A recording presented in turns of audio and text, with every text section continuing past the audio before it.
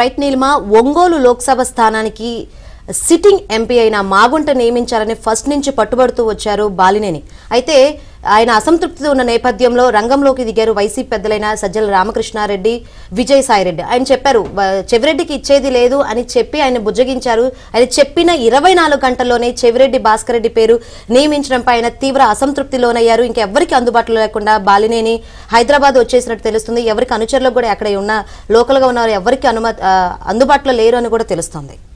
Right Ongole Lok Sabha ఇన్ఛార్జిగా చెవిరెడ్డి భాస్కర్ రెడ్డి నియామకంపై బాలినేని శ్రీనివాస్ రెడ్డి అసంతృప్తిగా ఉన్నారు. నిన్న చెవిరెడ్డికి పార్టీ బాధ్యతలు ఇచ్చేది లేదు అని బాలినేనికి చెప్పిన వైసీపీ పెద్దలు ఇరవై నాలుగు గంటలు తిరగకుండానే ప్రకాశం జిల్లా బాధ్యతలు అప్పగించారు. సీఎం జగన్ సజ్జల రామకృష్ణారెడ్డి తీరుపై భగ్గుమన్న మాజీ మంత్రి బాలినేని సింహపురి ఎక్స్ప్రెస్ రైలు ఎక్కి ఒంగోలు నుంచి హైదరాబాద్ వెళ్ళిపోయారు అనుచరుల ఫోన్లకు అందకుండా తన ఫోన్ స్విచ్ ఆఫ్ చేసుకున్నారు బాలినేని.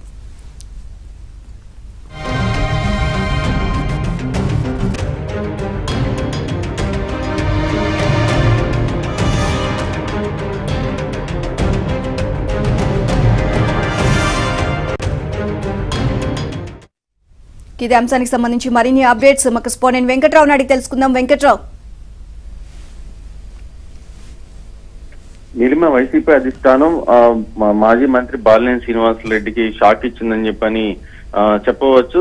వచ్చి- చంద్రగిరి ఎమ్మెల్యే చెవిరెడ్డి భాస్కర్ రెడ్డికి ప్రకాశం జిల్లా వైసీపీ బాధ్యతలను అప్పగించారు. అయితే చంద్రగిరి ఎమ్మెల్యే చెవిరెడ్డి భాస్కర్ రెడ్డికి వైసీపీ బాధ్యతలు అప్పగించడంతో పాటు ఇటు ఒంగోలు పార్లమెంటు స్థానంలో పోటీ చేసే అవకాశం ఇస్తారని గత కొద్ది రోజులుగా ప్రచారం జరుగుతుంది. దీనికి సంబంధించి కూడా సంకేతాలని ఆ, బాలినేని శ్రీనివాస రెడ్డికి వైసీపీ పెద్దలు ఇచ్చారు. కానీ చెవిరెడ్డి భాస్కర్ రెడ్డి పోటీని ఒంగోలు నుంచి అంగీకరించిన అంగీకరించనంటూ కూడా బాలినేని గత కొద్ది రోజులుగా అలిగి ఆ, విజయవాడలో ఇదే అంశం మీద పంచాయతీలు పెట్టారు. అయితే ఏదైతే చెవిరెడ్డి భాస్కర్ రెడ్డికి ఫైనల్గా ఒంగోలు పార్లమెంట్ నుంచి పోటీ చేసేందుకు అవకాశం ఇస్తాం. కానీ పార్టీ బాధ్యతలు అప్పగించమని చెప్పని బాలినేని బుజ్జగించి పంపించారు. ఆయన నిన్న ఉదయమే ఒంగోలు చేరుకున్నారు. ఒంగోలు పార్లమెంట్ స్థానంలో ఎవరు పోటీ చేస్తే నాకేంటి నా పని నేను చూసుకుంటానంటూ కూడా ఆయన మీడియాతో మాట్లాడి వెళ్ళిపోయారు. అయితే ఆ తర్వాత సాయంత్రానికే చెవిరెడ్డి భాస్కర్ రెడ్డిని ఒంగోలు పార్లమెంట్ ఇన్ఛార్జ్గా నియమిస్తున్నట్టు వైసీపీ ఆ, ప్రకటించింది. ఈ నేపథ్యంలో